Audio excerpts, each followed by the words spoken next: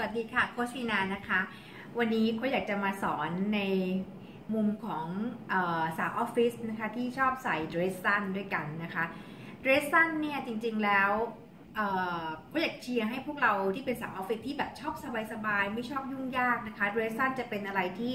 เหมาะมากเลยเพราะว่ามันเป็นชิ้นเดียวแล้วจบไปนะคะ เดรสสั้นจริงๆ แล้วมีหลายมีหลายรูปทรงนะคะโค้ชอยากจะโชว์ให้ดูนิดนึงนะเดรสสั้นตัวแรกนี่จะเป็นเดรสที่โค้ชเคยให้ดูก็จะเป็นเดรสสีดำนะคะเดรสสั้นสีดำแล้วก็จะเป็นทรงก็เรียกว่าทรงทรงดินสอนะคะก็จะเป็นอสอบลงมาลักษณะแบบนี้นะคะ นี่ก็จะเป็นเป็นแบบหนึ่งแบบนะคะเดรสสั้นสีดำเวลาเราใส่พวกนี้ก็อย่างที่โค้ชเคยเอ่อเอามาแชร์ในคลิปก่อนๆนหน้านี้ก็คือเติมวิสซี่ลงไปนิดนึงมันทำให้ดูมีลูกเล่นนะคะ ที่ต่างเป็นแบบเข็มกลัดเป็นอะไรอย่างเงี้ยนะคะ ลงไปมันก็ทำให้ชุดดูดูไม่เหมือนเดิมนะคะ อีกแบบหนึ่งก็จะเป็นเดรสที่เป็นเดรสสีนะคะ จะมีลายนี่จะเป็นของซาร่าเนาะโคซื้อมา อยู่พักหนึ่งแล้วนะคะ ก็จะเป็นผ้าสบายๆ มันจะเป็นผ้าเป็นผ้ายืดชอบมากเลยเพราะมันไม่ต้องรีดแห้ๆนะคะ ก็เวลาที่ใส่ลักษณะพวกนี้ค่ะเดรสที่เป็นเดรสสีก็จะดูสีสดใสมากขึ้นนี่จะเป็นสีค่อนข้างออกแบบสปริงหน่อยนะสาวสดใสนะคะ แล้วก็เนื้อผ้าค่อนข้างหนาทำให้มันดูดูแพงขึ้นนะคะเดรสสีก็จะเป็นอีกอันหนึ่งที่จริงๆแล้ว ถ้าเทียบกันนะคะ อันนี้ก็จะเป็นเดรสเหมือนกันเดรสดำแล้วก็เดรสสีเห็นไหมว่า character สมมติว่าโค้ชโค้ชเทียบหนึ่งนะโอ้โอ้นะคะสองเห็นไหม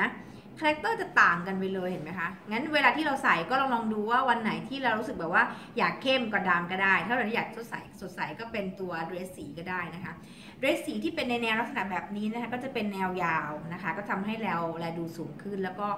ด้วยทรงก็เป็นทรงดินสอเหมือนกัน ก็จะดูแบบ มันก็จะจะพอดีตัวนะคะ อีกอันนึงจะสดใสขึ้นนิดนึงนะคะ ก็คือจะเป็นเดรสที่เป็นลายดอกไม้นะคะก็จะเป็นลักษณะของตัวเดรสที่เป็นทรงดีซอเหมือนกันก็ชิ้นเดียว แต่ถ้าเกิดว่าใครที่มีต้นแขนนะคะ ก็หาแจ็คเก็ตสักตัวหนึ่งคลุมลงไปก็จะดูดูโอเคมากขึ้น ถ้าเกิดว่าเดรสเป็นเป็นลายดอกแบบนี้อยู่แล้วอะค่ะแล้วก็ไม่ต้องกระหน่ำดอกอะไรลงไปเพิ่มเพิ่มเติมก็คืออาจจะแบบว่า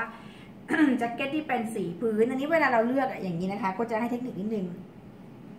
เราเห็นลายในดอกไม้นี่ใช่ไหมคะลายไม่ใช่ลายในดอกไม้ลายในเดรสนี้นะคะ ก็เลือกสักสีหนึ่งที่อยู่ในในในเดรสนี้ค่ะ แล้วก็เอามาเป็นแจ็คเก็ตแค่นี้จบข่าวง่ายเนาะนะคะ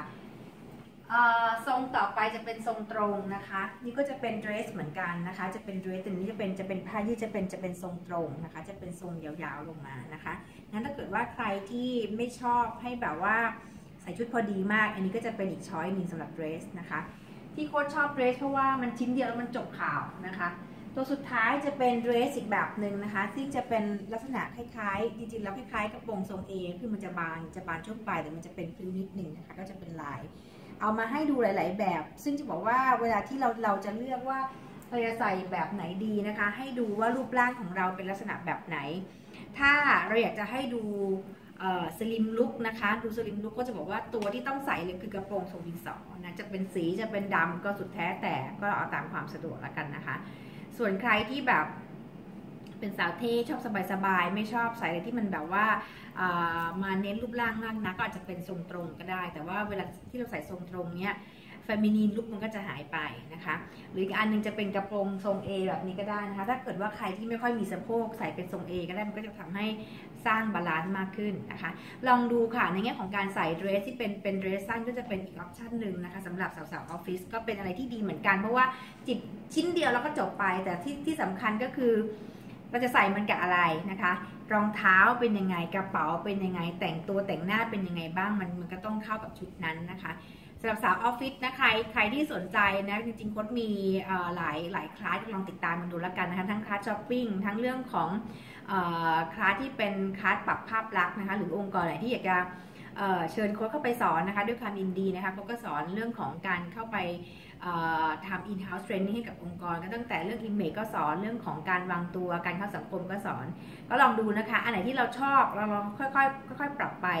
ในแง่ของการทำงานก็จะบอกว่าการใส่เดรสเนี่ยมันช่วยให้เราเป็นฟ e มินีลุกแล้วก็ทำให้เราดูเป็น professional มากขึ้นนะคะแต่ให้ระวังเรื่องของสีเรื่องของลายเรื่องของแบบนิดนึงเลือกให้เหมาะกับเราแต่งตัวให้ดูแพงจะได้เหมาะกับค่าจ้างราคาแพงๆค่ะ สวัสดีค่ะ